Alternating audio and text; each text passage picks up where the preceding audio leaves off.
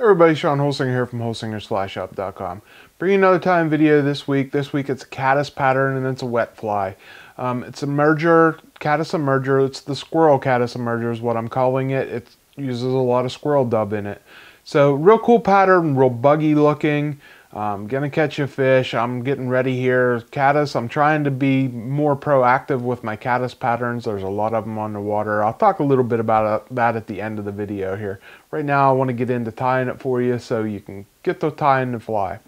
Here you're gonna see a picture of the fly, then the material list to tie it.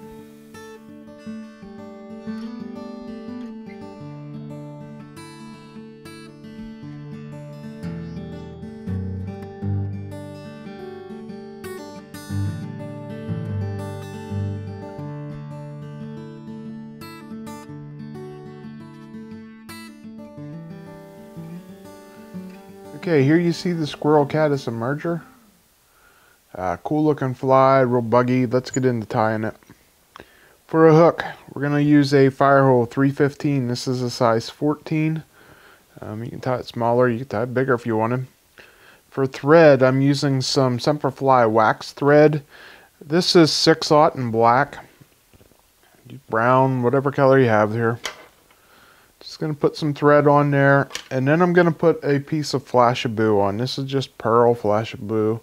Just to give it a little bit of extra flash to it. And I'm going to wrap that back around the bend of the hook there. And now we're going to dub the body on here. For the dubbing, we're going to use some Whitlock's dubbing blends. This is Sculpin Golden Brown. And any brown color will work, but I like this stuff. It's nice and it's got squirrel in it and uh, makes it a little bit buggy and some flash to it.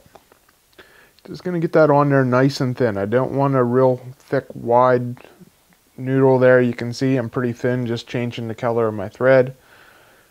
And we're just going to make that nice, even body up through here. And that's actually really nice there.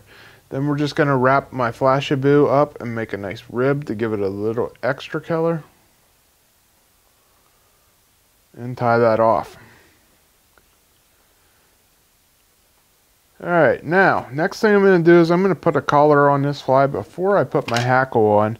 And to do that, I'm going to make a dubbing loop. I'm going to use my uh, multi-tool here, make a dubbing loop.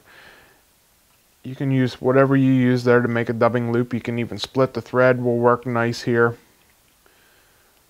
And just going to put my multi-tool on there. And I'm going to take a pinch of um, Whitlock's dubbing blends. This is the Red Squirrel Nymph Thorax. And I want a very small pinch of it, but a nice buggy looking pinch of it. You know, there's the guard hairs, there's a ton of guard hair in this, and it's going to make it stand out real nice. So I'm just going to put that in there and then in the center, give it a spin, twist that up, and then pluck it out just a little bit to get the bugginess, get them guard hairs. There you can see I got lots of guard hairs going on there. I'm just going to wrap that around here and make a collar. And as I do, I'm going to wrap those fibers back. And this is what's going to give us that emerger look. Can make it nice and buggy look like the wings are coming out. Give it a little bit extra body up front there. Trim. All right, next thing we're going to do is we're going to add a hackle fiber to this. For this, I'm going to use a hen pheasant. And I'm just going to pull the fluff off of this on both sides here.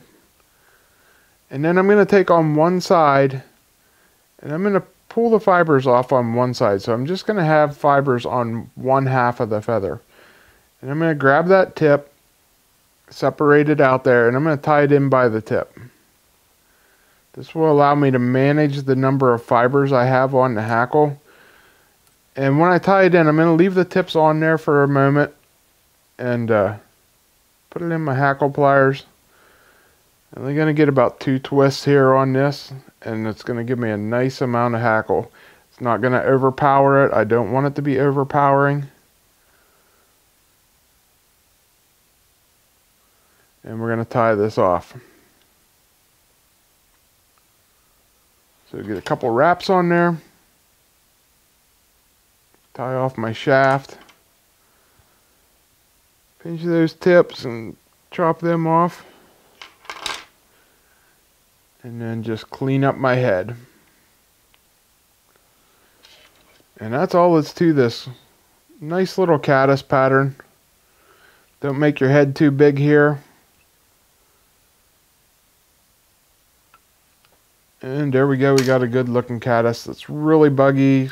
Gonna ride in that film nice, catch a lot of fish during the hatch. Alright guys, hope you like that pattern. Very, very easy one. Just a few pieces of material, all it takes to tie this pattern. And it's really buggy pattern that will catch you fish. Um, one of the reasons why I was sharing this one was right now um, TU chapters asked me to speak, do demonstrations at their clubs and stuff like that, different tying clubs. Uh, and right now I've been doing a demonstration on tying the life cycle of a caddis.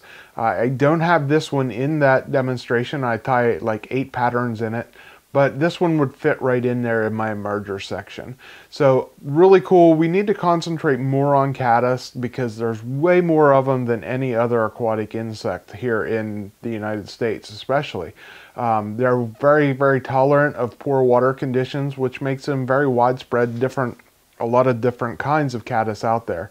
So uh, for me, like I've been trying to tie more caddis patterns from my box because there's more of them in the water for the trout to feed on. So it only makes sense that you catch more fish on th something that there's more of. So that's why I'm bringing you this pattern this week. But very cool pattern. Uh, if you're looking for somebody to speak at your TU chapter here, especially if you're in the Pennsylvania, Maryland, like that area, I'd be more than willing to talk to you about doing something like that. Um, so reach out to me at holsingersflyshop at gmail.com.